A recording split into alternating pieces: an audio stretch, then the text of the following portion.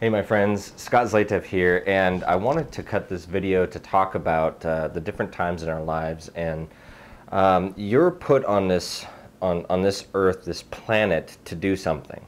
Uh, now, whatever that is, um, that's up to you to figure out. Uh, for me, I just want to share a quick story that uh, eh, you know, some recent experiences that I've had here recently. But more importantly, um, I want to share a story with you that happened to me many years ago, and it wasn't until somebody actually brought it to my attention that uh, that I was I kind of put things into perspective on uh, on you know what what I'm actually doing here. Uh, and and I'm not going to get all philosophical on you and and uh, whatever whatever it is that you believe, uh, whether you know you're you're put here on earth for a specific person purpose, whether you you know whether you believe in a creator or, or you don't. Um, the the point it's it's kind of irrelevant. Uh, what what I what I want you to take away from this is uh, a set of experiences that I've had, and maybe that can reflect in your life, and you can take a take what I what I'm going to be sharing with you, and take a look at your own life and your own set of experiences, and uh, and put together your own conclusions for yourself. Uh, for me, um, I. I, I've got kind of a remarkable history uh, of basically escaping debt several different times. Um, you know, it started when I was a kid. Uh, you know, I, I, uh, I, some of you know, um, you know, I'm, I'm kind of a, somewhat of a daredevil at times, and and uh, kind of almost ADD, and um, I'm always you know, here here's where the normal person goes. Well, I just really, you know, stretch it out through the ceiling. And uh, you know, the first thing that happened was I remember years ago I was with my best friend, and uh, this is when I was, you know, not even I think I was eight or nine or something like that, and we were watching Superman. Okay, now now stay with me here through this whole thing. You're gonna you're gonna absolutely laugh at some of the the different experiences I've had, uh, and and kind of wonder, you know, how is this guy still alive? Uh, so I'm, I'm just going to give you two because I don't want this to extend out really, really far. Uh, but the first one, uh, I, we, my best friend and I, we just got done watching Superman, and uh, and I told him, you know, I, I kind of wanted to be that that that person that uh, could do stuff. You know, I've always wanted to be that that person that uh, that that could just kind of stand out a little bit, and so I told him I could fly.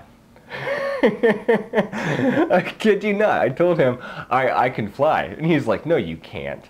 And I said, I'll, I'll show you. And I was dead, dead determined. Never flew before. Of course I can't, right? Uh, I was I was so determined to uh, show him that I could fly that we had this uh, this tower that my dad uh, built for us. Uh, see, my dad, he's a, a, journeyman carpenter. He's, he's built, you know, homes and all this stuff. Well, he built this structure that had like, uh, it had this platform on the top and it had this pole that went down in the center. So we could climb up the pole or we could slide down the pole. It had on both sides, it had uh, two sets of ladders and then there was a, you know, a swing. So it was, it was like one of the ones that you could buy, but back then we were so broke, uh, my dad just made everything, you know because uh, he knew how and he had all the tools and you know the, the parts you know back then cost about five bucks to get. And so he just put it all together and made, made a really cool tower for us. And uh, was this huge structure. At the very top there's this this platform and and you could you know you could stand up there and uh, you you could you know see the neighbors you know the the neighbors uh, the rooftops and everything like that it was pretty cool. So that's that's kind of what we we played on for a long time. Well, I was like, you know what, I can fly. and he said, no, you can't. So I, I said, well, come on, let, I'm, I'm going to prove it to you. So uh, I took him out to that big structure, that tower, and this tower is like 10 foot tall. So I climbed, climbed on up, up on top of the tower, and uh, I, I said, okay, I'm going to fly. And I shouted, you ready? And he's like, yeah, and he's kind of, you know, arms crossed and, you know, waiting. And uh, I jumped uh, head first. I dove head first uh, from 10, from 10 feet up. And, uh, you know, of course, gravity set in and I, boom, uh, hit hard. Uh, so hard I, I don't actually remember from that point on. All I remember was jumping and then I ended up uh, in the emergency room, and the the location of um, the cut that was uh, in my head. Uh, they said that I, they couldn't use Novocaine on me. Uh, so I had two nurses um, laying across both sides. Uh, I had two other nurses laying across my feet and, and holding my, my legs down. And then my mom was instructed to hold my head still so they could stitch me back up. No, so that, that was just one kind of experience. And uh, throughout my whole life, I never broke a single bone. Uh, I've, I've, you know, jumped off of cliffs uh, into water that's, you know, 85, 90 feet, feet up. Uh, you know, I, I remember diving off of one cliff and scraping my head on the bottom. Uh, I've done a lot of different things. and there's another time here. Now this one was was pretty scary uh, because what had happened. I was this I was in college, and my uh, my my good friend at the time. Uh, he was he was kind of a little little bit on the crazy wild side, and he had this 90s uh, or it was a 79 Camaro Okay, this this is one of those big engine ones, one of those you know really muscle car type that uh, you just you know you, you, could roast the tires if you just gave it a little bit of gas. That's how much power this thing had. Well, uh, we decided that we wanted to go. You know, we were kids. We were you know in college. We couldn't go into bars. We couldn't do anything. Uh, so we were kind of bored one night, and I called him over. And uh, the plan was that we were just going to go to the mall, hang out, and uh, talk to some girls. You know, find some girls, talk to some girls. So um, he came over and we left from my apartment. And what ended up happening was uh, we were going and, and we only had like maybe 45 minutes till the mall closed. And we were like, oh, we got to get there fast. So we kind of did a little bit fast. Uh, what happened was there's a straight stretch of road that went by the college where I was at. There's a straight stretch of road that went like this, and then there was a, a corner that that that went like this, and then it then it went back. So it was kind of this S curve type of corner. Well, so let me let me see if I can kind of show you here. So this corner went like this, and it curved this way, okay, and then it curved back. Well, over here on this side, there was uh, there was it, it was nothing, and then on this side there was a bridge. Okay, so uh, you know, nothing but flat land back here. You drive in along here, and then it turns to the left, and then when it turns back to the right, there's nothing but a drop off that goes way down. Well, what happened was we were just flying, and I mean we were we were going fast, and it'd been raining. Big big uh, big mistake there. Uh, it started raining really hard, and he has rear wheel drive in this in this muscle type of car. Uh, so we started going, and uh, the car he turned left, and I don't know what it was. Uh, you know, some some people that I've told this story, they're like, you know, that that's uh, you know that that was your guardian angel that was just talking to you, Scott. Uh, some other people, you know, they they they believe whatever they want to believe. Um, I, I personally, you know, I don't know. Maybe it was just my inner self saying, you know, this is absolutely stupid, Scott what are you doing? Uh, you know, whatever. But I, I, heard something in my head that said, oh crap, uh, I need to put my seatbelt on. I didn't have my seatbelt on. and uh, so what happened was we, we turned that corner and it was like I heard this little inner voice. And so I grabbed my seatbelt, I put it, I clicked it on, and the moment that I heard it say click, I heard my my friends say, oh shit, you know, oh crap. Uh, and I look up and he's trying to turn the wheel on the second turn and we're going straight. The car wouldn't turn. We started to hydroplane and we started to just slide and we were heading straight for the cliff. And uh, so what I did is I, I put my, I shoved my hand or my, my left hand up against the, the roof of the car. I put my other hand over here on, on, the, on the door to brace myself. And we just, we just yelled over and over and over, we're going over, we're going over, oh crap, we're going over. And so what ended up happening is really interesting because for whatever reason, uh, there was nothing but trees, and we're talking big, you know, fir or big pine trees with you know really solid structures. You know, uh, you know, if a car would have run into it, it would have just went boom and just completely mashed the car. But what was really interesting is it didn't do that. Uh, what what ended up happening was there was like a tree, a tree, a tree, a tree, nothing but nothing but all these different major trees. And for some reason, right where our car went, there was one tree that wasn't fully grown, and our car hit the curb and we launched. We launched in the air and we clipped the top of that one tree. And because we clipped the top of that one tree, it scraped to the bottom of the of the car and kind of made it go down uh, a little bit in the front. And so we flew in the air uh, about, gosh, I don't know, probably you know, 60 or 70 feet, something like that, or 60 or 70 yards. I don't know the or not yards, uh, you know, feet.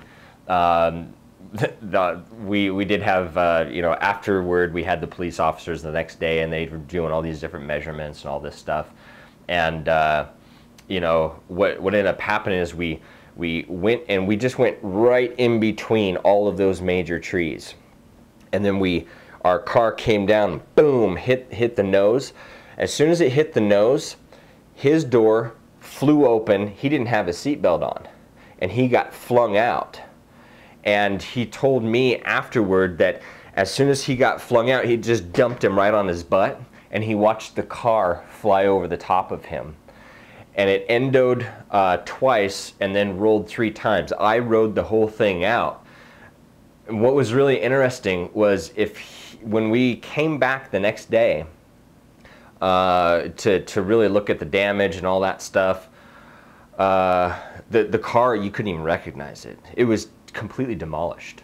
Uh, you know, of course, there was a big crowd that was, you know, standing around while, you know, the crane was pulling it back and, and we were sitting there and and uh, there were people just like, oh my God, I hope those people are okay. And we said, yeah, we're fine. And they were like, you wrote you you were actually in that, and you didn't break any bones. You didn't, you know, we were standing right there. We were okay.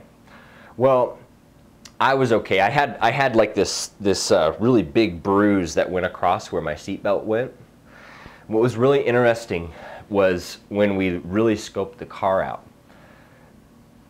The, the, the driver's side, if he hadn't have been, um, you know, just kind of pushed out by the centrifugal force and everything that happened through the accident, the roof of the car was completely crushed and bending the front pass the, the front driver's seat down completely in half.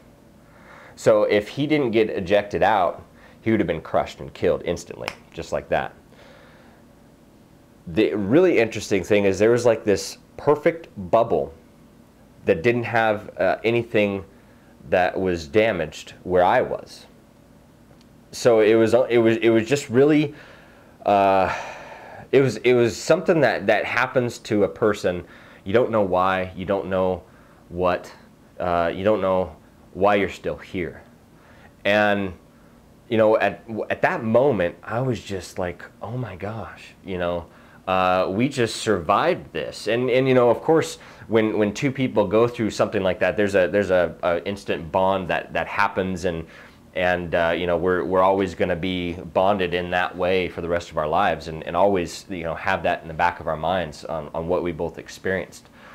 And uh, I was telling this story uh, to someone else, and um, they they said Scott, and, and this person is is uh, is very religious. I, I respect him a, a whole lot. Um, he was actually one of my my really first mentors when I started becoming an entrepreneur.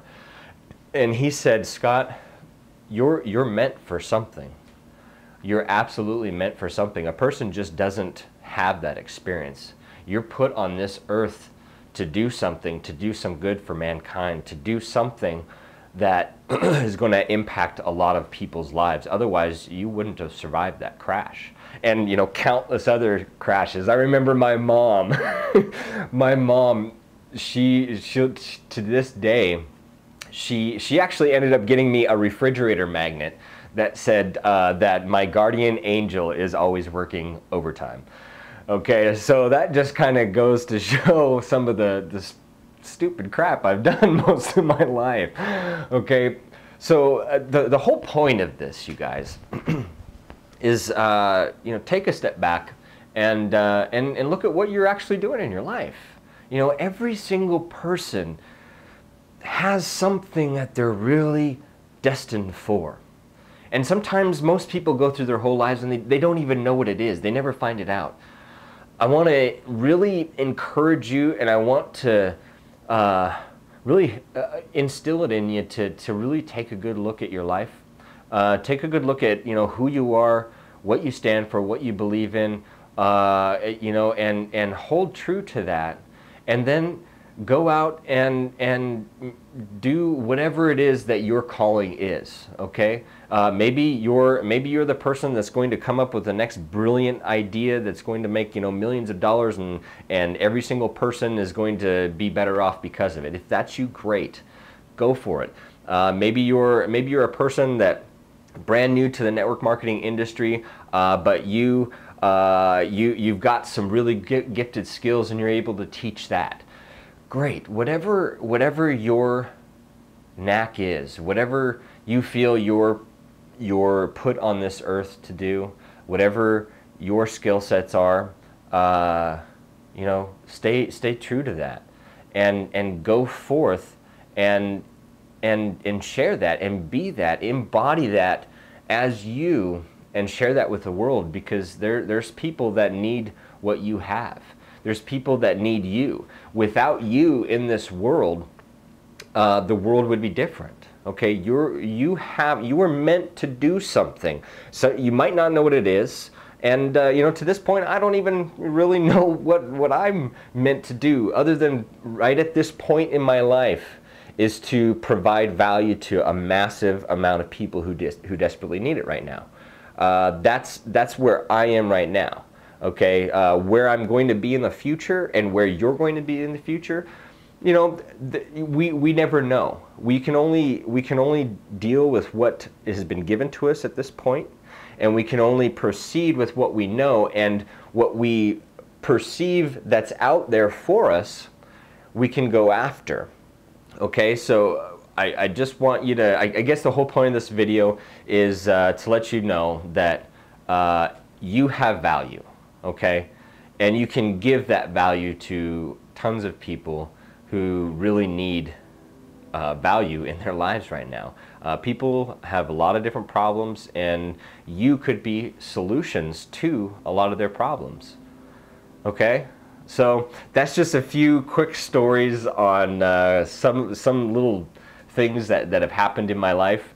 And uh, just thought I'd share that with you so that you can kind of take that away and uh, and start looking at your own life and do some inner reflection and and see because I'll, I'll tell you uh, there, there's a point where I was blind for so many years on uh, just some of the things that I was doing because I was just always going, always going, always going. You know, rat race, uh, generating business, do anything, just always going. And very seldomly do we actually take a step back and, and take some time uh, to reflect on things that we've learned, things that we've done wrong, where we can improve, uh, and, and do some things that uh, are, are quite difficult. You know, inner reflection and, and being humbled by some of the mistakes of the past is very difficult to do. Uh, you know, we have to drop our pride, we have to realize that uh, we're not invincible, and we have to realize that, uh, that, that uh, we're gonna we're flawed and we're gonna make mistakes, and it's okay. You know, it, it takes a big person to to drop their pride and just look in the mirror and say, you know what, you screwed up. But it's okay because now you know that you screwed up. And now you can use that and and help guide some other people through some challenges that they might be having right now and now you can go go forward and learn from those types of experiences and you can prosper in any direction that you choose in life so my friends uh, hope that that was uh, at least somewhat entertaining to you. Go ahead and leave some comments down below. I'd love to know some of the uh, some of the wild, crazy stuff that you might have done, or or uh, you know, if, if you just if you just kind of think that that this video is is kind of cool because uh, it's a little bit different uh, you know, leave some comments down below. Tell me about it. And, and again, I would love to know your experiences. You know, type it in real quick. Some of the near-death experiences you might have had, some of the things that you might have learned from some of the, the stupid things that you've done in the past. But more importantly, what, what that, that really uh, gave to you as a sense of who you are and where you're going in the future. I'd, I'd love to know that, guys. Okay, so again, put your comments down below. I'd love to hear about them. This has been Scott Zlateff. To the top, my friends. Bye-bye.